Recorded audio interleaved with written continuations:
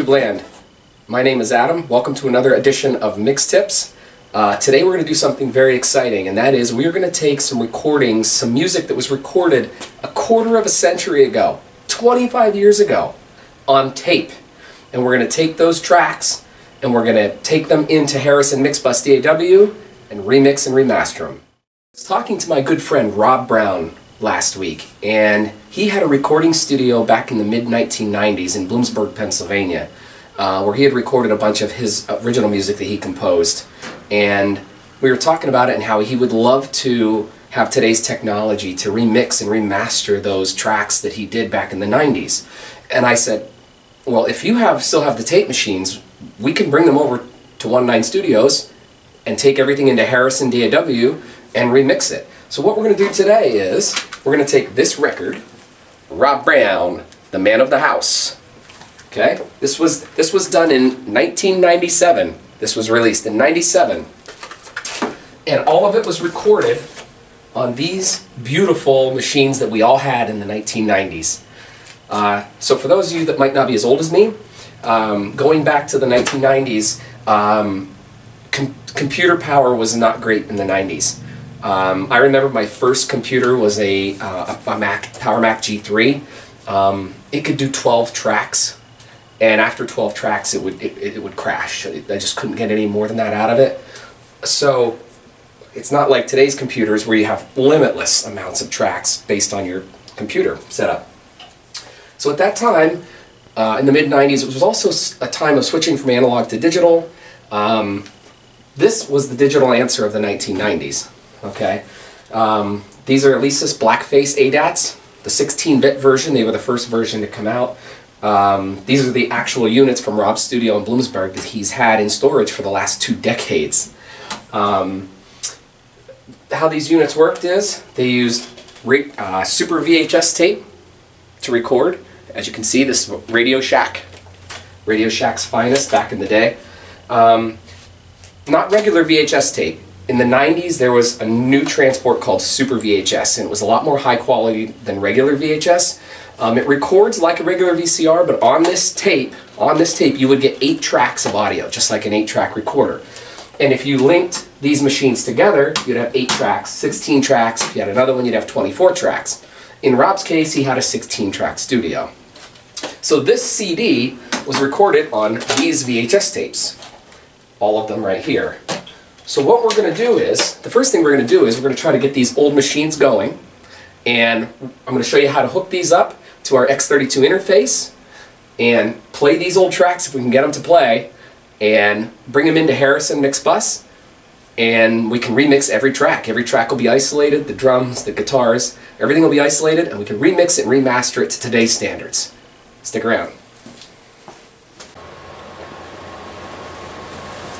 Okay, to give you guys a little bit of a closer look of the Alesis ADAT units. Um, like I said before, these were mid-90s um, devices. I've owned a lot of these. Um, there were different models that came out. This was the first version. This was the 16-bit version.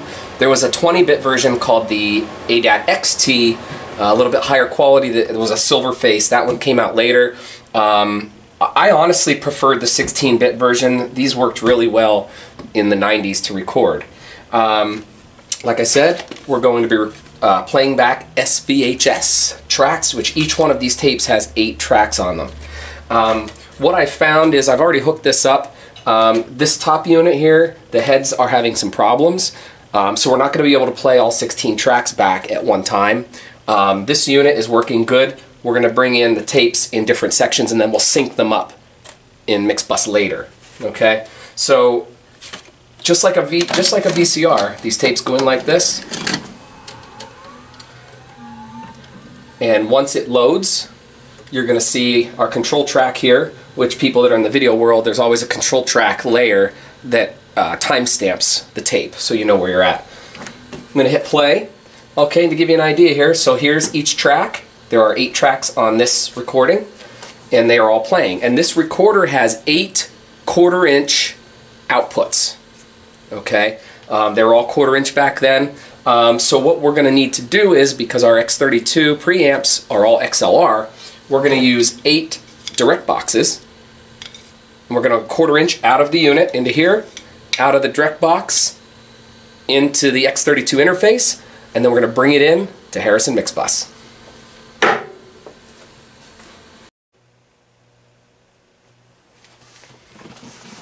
Okay guys, looking at Harrison Mixbus here, I'm going to show you how to set this up.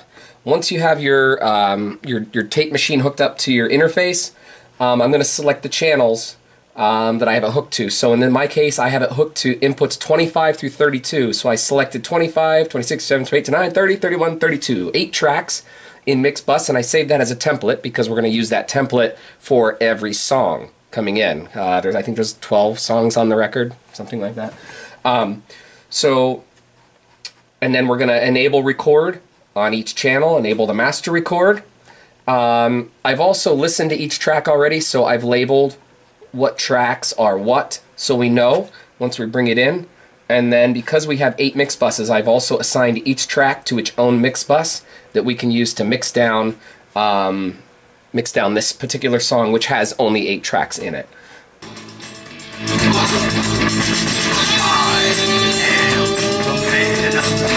Okay, so right now we're recording. That's the tape machine playing, and we're recording everything into Mixbus. It's recording, see each track is independent.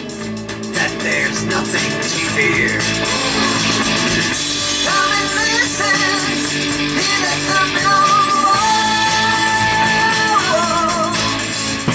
Okay, so now we have everything in Mixbus. Uh, the whole song is in. Uh, I'm going to take recording feature off and we're going to listen to this back and you'll see that each track is isolated just like it was on the tape. So on this, there was lead guitar on this track, bass guitar is on track 6, rhythm guitar. The drums were already submixed on track 8 because probably back then in the 90s they needed to bounce those tracks together to save tracks. Um, so the drums are together.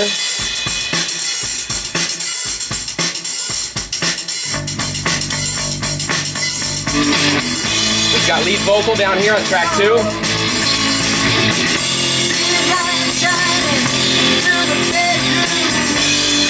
So now that we have all the isolated tracks in Mixbus, uh, we're going to bring the whole album into Mixbus and we're going to mix each song over from scratch because remember these tracks which we consider to be the audio stems, come right off of the tape, and they have no EQ, no effects, because this was before it was mixed down.